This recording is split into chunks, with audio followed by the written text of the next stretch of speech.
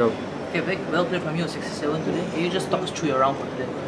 Yeah, actually in the morning I was not confident at all and then I practiced, you know, changed a little bit of swing and then it just came back before tee off and then I have some lucky shot also in like back nine.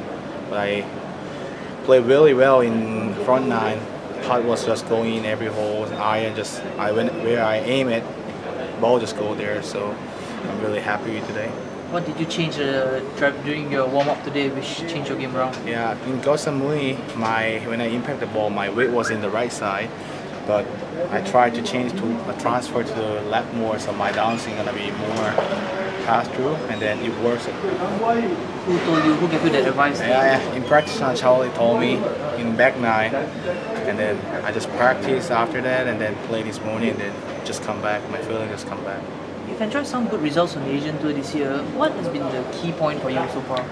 Uh, actually, for this year, I try to you know play some safe, play play smarter, gameplay more. Like last year, I just go for it. You know, sometimes you should you know like go stop and then go again, but I just go there. But this year, I try to think again first and then play. So try to you know calm down. You know that make me good result for this year. And what do you think of this golf course here?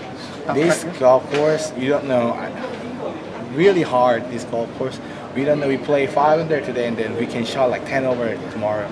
The golf course is really hard in condition, and then if even the wind coming is gonna be really hard to, to play, and you have to play like control a lot here, not just hit the driver. You have to get it like three iron and seven iron, some power four. You know, we play heavy smarter. Thank you very much.